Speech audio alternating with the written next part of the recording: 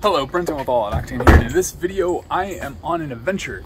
I am going to my first air show at Naval Air Station Oceana in Virginia Beach. So let's go. In pretty typical fashion, I have to wait for the Gilmerton Bridge, which is kind of the consequence you pay for not wanting to go over the Jordan in my area. And uh, I'm cheap. I don't like to to pay for things. So now I have to sit and wait. Hopefully not long. There's a barge down there. And hopefully that'll be the only thing, although it looks like there might be a leisure boat out there, although he's small enough to go under. So the barge is the only thing that has to, the bridge has to go up for.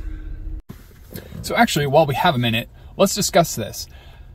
You might be asking yourself, Brenton, how does a 34 year old automotive and military plane enthusiast who's lived in Virginia Beach for almost 15 years, roughly 15 years, not go to an air show? And the answer to that is I have no idea. I have no idea why I've never gone to the air show or any air show for that matter. And today I'm going to change that. I'm actually going to go. I got my Top Gun shirt on. Uh, I don't have a cool hat. So my dad has a Shaw Air Force Base hat, which is really cool. It's like old school, retro. And uh, I don't have one of those. I know he's got one of those. But I have everything else that I need. I've got earplugs, I've got my camera, and a host of other things that I guess I'm allowed to bring in. I got my folding chair and stuff like that.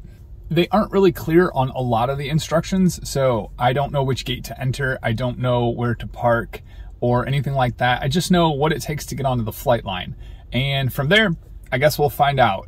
Um, I'm pretty excited about it. It's really early on a Saturday. It's already 7:20, which is early for me. The gates open at 8, the show starts at 10, and I am pumped.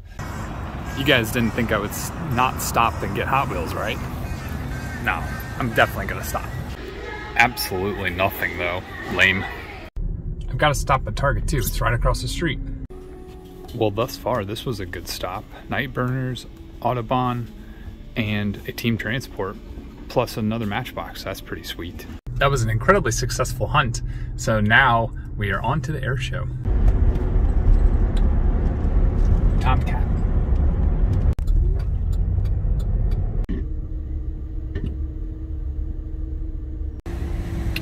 So I had no idea how this works, but like I'm driving on the flight line. This is fantastic. I didn't know we would park out here. Okay, so I made it. The dude who scolded me for making a video back there, but uh, anyway, I'm on the actual runway, and this is not the first time I've actually been on this base. I've been on this base before. I've actually been on the flight line before as well. I've had a lot of friends and who've been in the military when I lived here, and I got to go on subs, and I did a day cruise on the Truman. That was amazing. I stuffed hamburgers in my pockets for like days on end because it was all free food. But uh, I guess if, if you count a mini air show on the Truman, that was an air show that I have been to. That was awesome. So I'm really looking forward to today.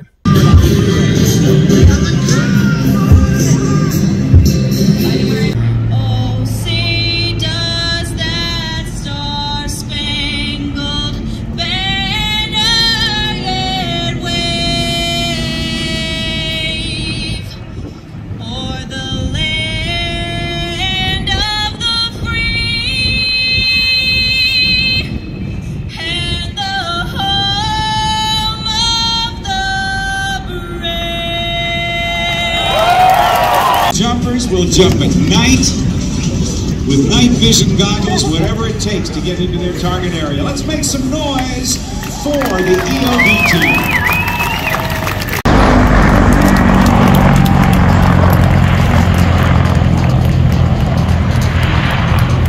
Back in its original form to about 1945 when Curtis Pitts started it.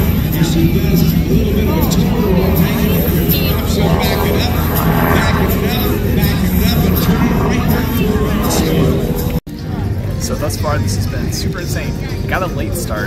I sat for probably well over an hour, but I'm in sight of the F-18s from the Blue Angels, which is epic.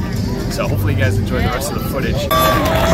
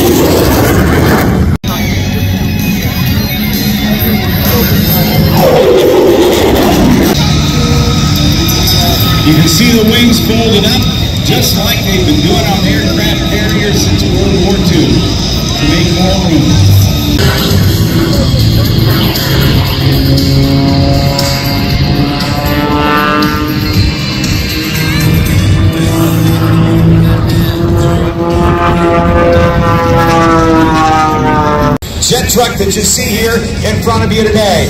We're off, ladies and gentlemen. Let's watch for the start. It's time for a race, and they're off. Michael Goulian far ahead at this point, but look at the acceleration of Hayden Proffitt as he gains quickly on Michael and scoots by. Oh boy! Ladies and gentlemen, how about that for a great race? Flying Blue Angel number five, the lead solo from Atlanta, Georgia, Lieutenant Commander Kerry Rickoff.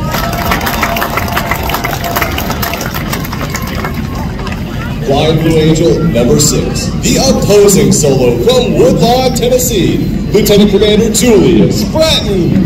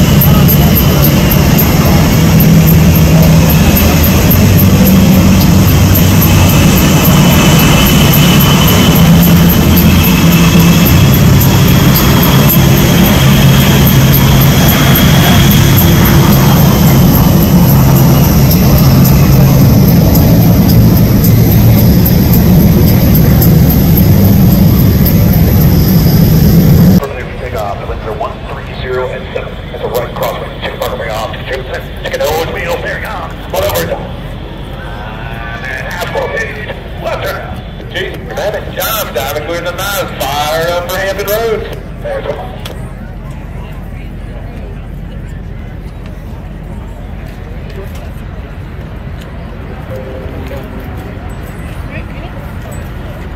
Now, to the left, Captain Kesselring calls, smoke on, off brakes now, burners ready now, and the Blue Angel diamond is rolling. As they pass before you, you will notice that the smoke is no longer visible while the engines are in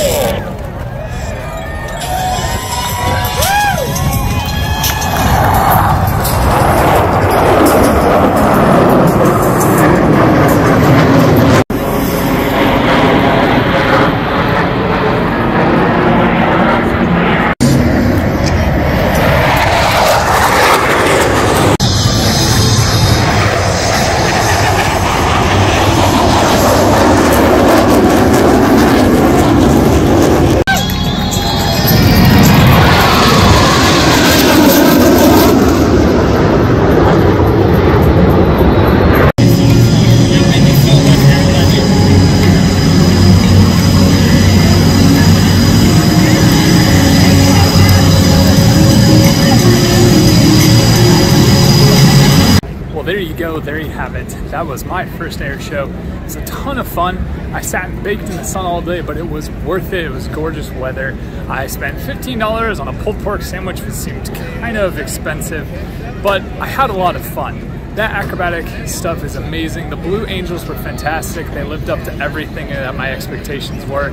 So I was just super excited to be here. I'm glad I got to come. Hopefully you guys enjoyed this video. Let me know if you did in the comments below. And until the next one, have a good one.